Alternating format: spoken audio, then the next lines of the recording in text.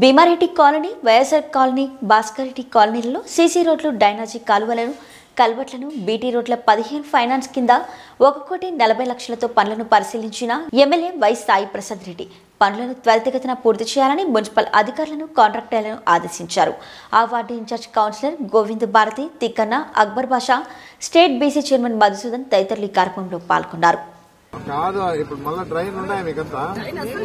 అది నేను అనేది అంతా డ్రైన్లు పెట్టాను కోటి రూపాయలు. డ్రైన్ చేసినాక ఖర్చు చేస్తే వ్యాధి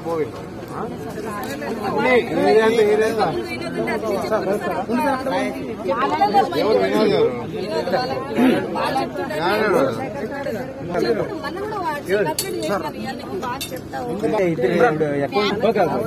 ఇప్పుడు ఏంటంటే ఏదన్నా ఉన్నా కూడా నిదానంగా వచ్చిందేదే దాన్ని చూసేక వచ్చినాము వర్షాలు అందుకే వచ్చినది ఇప్పుడు టెండర్లు అయిపోతే పిలిచి ఇది వర్షాకాలంలో అన్నీ ముగిస్తాను. ముందు అందుకే రోడ్లు అంటే దండికి కావాలా?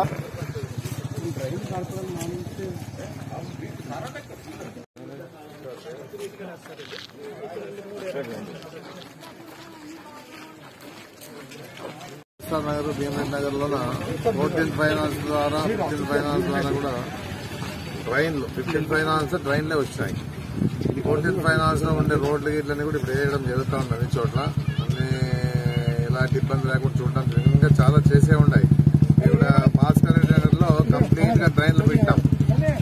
చాలా చోట్ల రోడ్లు వేయడానికి డబ్బు లేవు కాబట్టి నెక్స్ట్ విడతలో పెట్టామని ట్రైన్ వేసేసి గర్స్ పూరించే విధంగా సమస్య లేకుండా చేసేదానికి కూడా అధికారులు చెప్పడం జరిగింది.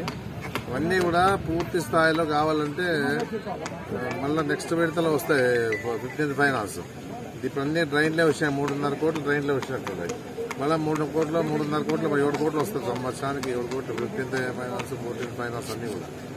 ఈ ఫిఫ్టీన్ ఫైనాన్స్ మళ్ళీ వచ్చే మూడు మూడు కోట్ల మూడున్నర కోట్ల నిధుల్లో అవన్నీ కూడా మామూలుగా రోడ్లు పెట్టడానికి ఈ ఏరియాలోనే కంప్లీట్ చేస్తాం. ఎందుకంటే బాగా పూర్తిగా వెనుకబడిన ఏరియా కాబట్టి ఇవన్నీ కూడా పూర్తి చేసేదానికి కూడా సహకారం ఇస్తామని చెప్పేసి నేను చెప్పినాను ఎందుకంటే ఆతృత జనానికి బాగా మరి ఇబ్బందులు ఉన్నారు కాబట్టి వాళ్ళు అడిగేదంటే తప్పులే.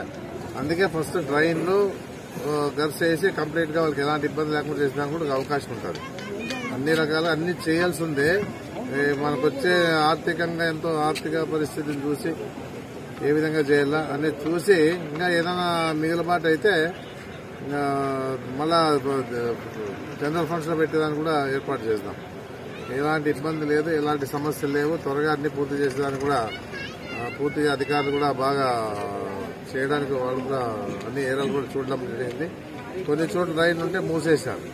ఇవన్నీ కొన్ని కొన్ని ఏరియాలో అలా ఆ విధంగా జరుగుతూ ఉంటాయి. అలాంటి పరిస్థితులు లేకుండా ఇప్పుడు చూస్తా ఉన్నాం. చాలా ఇవన్నీ కూడా కూడా అన్ని కూడా చేసేదానికి సమస్య పరిష్కరించడానికి కూడా